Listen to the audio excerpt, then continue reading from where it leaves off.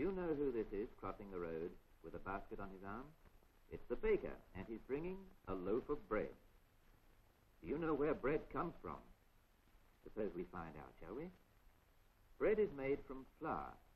So first we must go into the country to a farm that grows the wheat that makes the flour.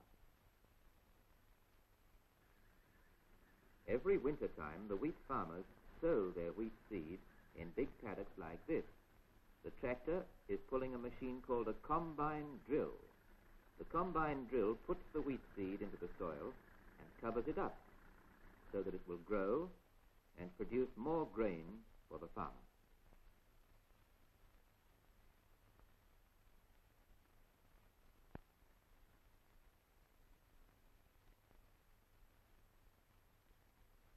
Alan is the farmer's son, and he lives on the wheat farm.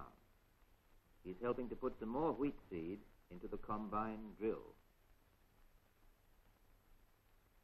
This is what the wheat looks like.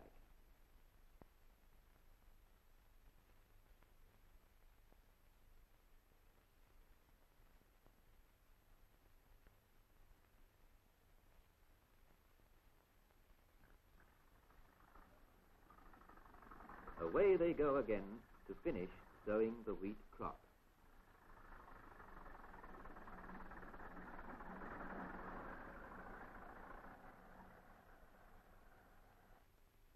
It is summertime. The wheat has grown tall and ripe, and it's ready to harvest. And here comes the harvester to collect the wheat.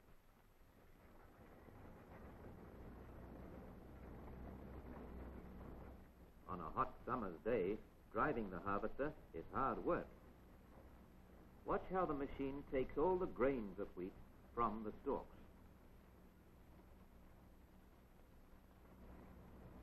Then the farmer empties the wheat from the harvester into bags.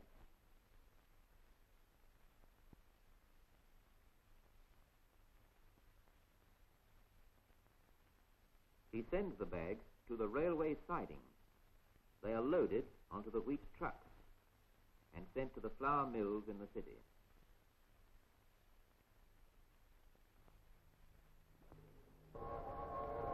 Goes the train on its long journey to the city, pulling its load. There go some sheep. And here come our wheat truck.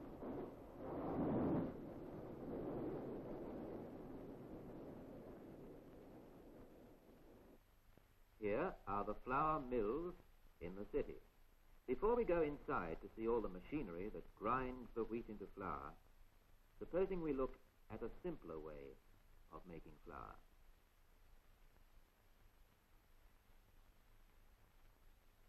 This is a very simple kind of mill for grinding grain. Judy is pouring in the wheat, and Jim is turning the handle that makes the rollers go around inside the mill. The rollers inside the mill crush the grains of wheat into powder. This is what we call flour.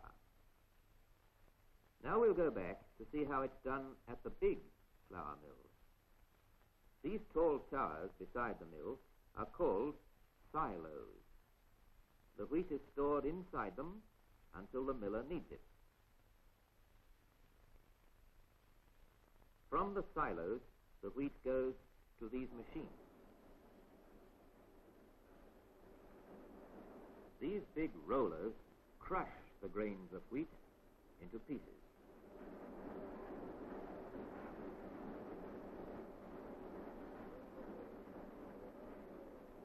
Then these rollers grind the little pieces of wheat into flour. This is just what Jim and Judy were doing. Next, the flour is put inside these moving boxes, which we call sieves. The sieves catch any little pieces of grain, and the pure flour falls through like this.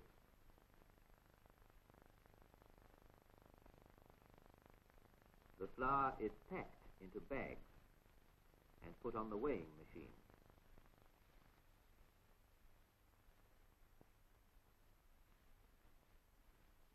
Then it is stitched up.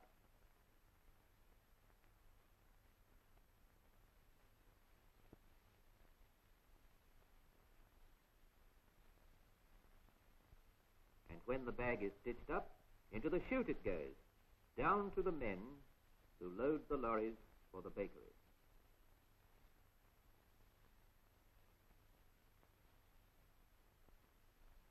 Now the flour is on its way to the bakery. And here it is in the baker's mixing machine. In goes the yeast to make the bread rise. Switch on the motor, turn on the water, and now the flour and yeast and water are mixed into dough, just as your mother mixes a cake.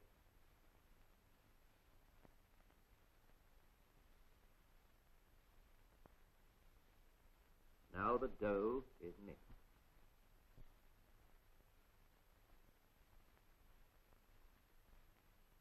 But the dough is not ready for baking until the yeast makes it rise and become light and spongy. The dough is left in here to rise. This bowl is nearly ready for baking. Ah, this one is quite ready, but first some of the air has to be squeezed out.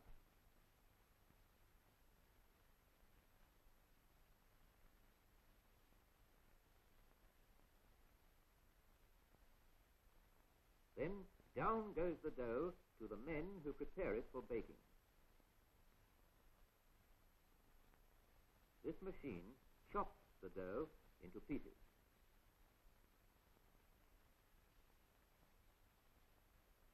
This one squeezes more of the air out of the dough.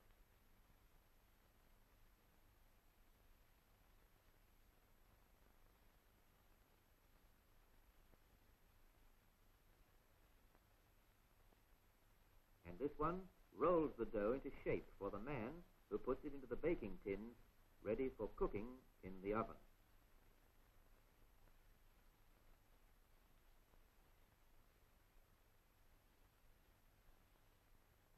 The tins of dough are put onto trays in the mouth of the oven.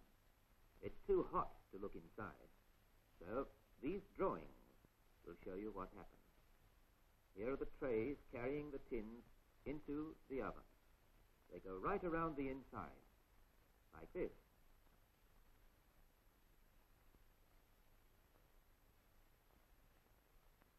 Watch how the bread rises and turns brown as it moves through the hot oven.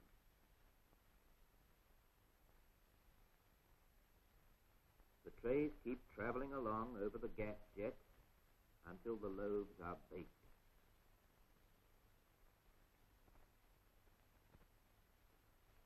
Then they're taken out of the oven.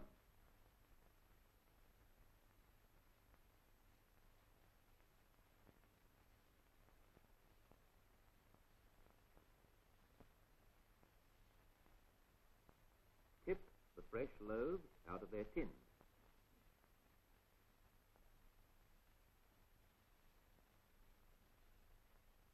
Now they are on their way to be loaded onto our baker's van.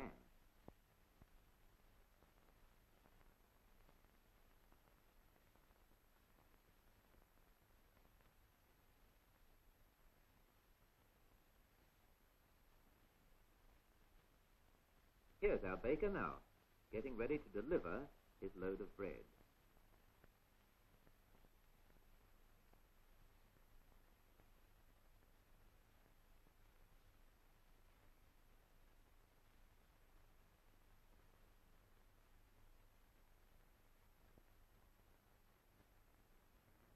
Away he goes on his round. So, next time the baker calls, think how the wheat farmer, the railway men, the miller, and the baker are all working so that we may have good, fresh bread to eat every day.